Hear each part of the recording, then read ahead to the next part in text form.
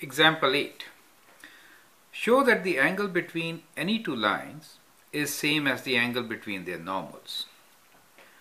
Well, let's try to sketch and then prove it. So here is our coordinate plane and let's draw two lines here.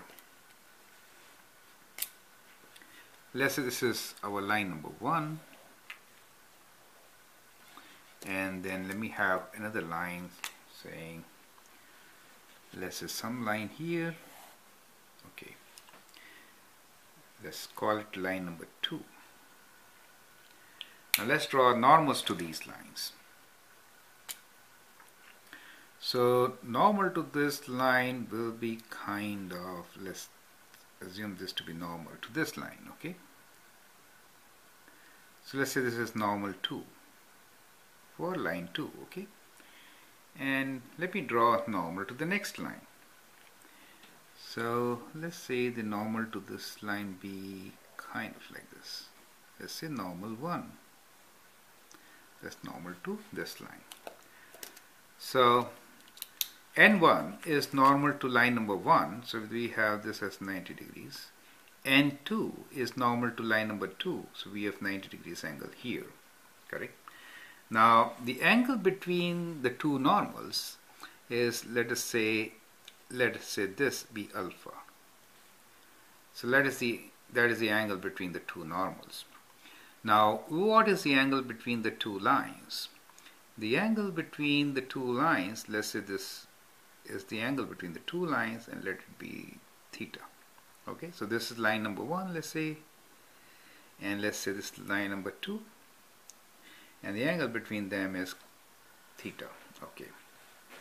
Now let's consider now when the normals cut the line let's label them. This is our origin O and let's say this point is A for us this point is B and this point is C for us. Okay. Now OABC form a quadrilateral right? So we have a quadrilateral let's say OA BC is a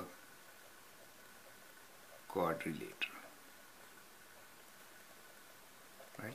So what is the sum of angles between inside angles of quadrilateral? It's 360, right? So which means alpha and this is 90 and let's call this beta here. Let's call it beta, okay? So the angles are alpha plus 90 degrees plus beta plus 90 degrees. And that should be equals to 360 degrees. That means 90 plus 90 we can take that side and we can write